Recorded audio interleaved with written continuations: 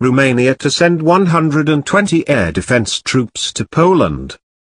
Romania's president says the country will send 120 air defense troops to support NATO's presence in Poland amid unease about Russia's interventions in Ukraine.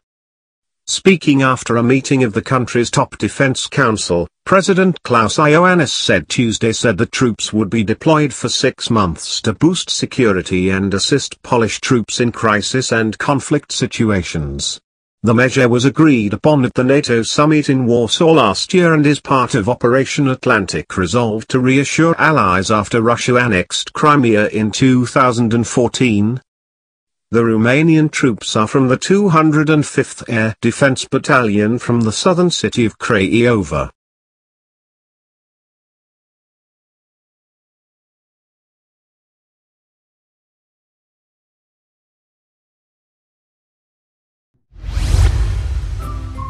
Thank you for watching. Please subscribe to us on YouTube.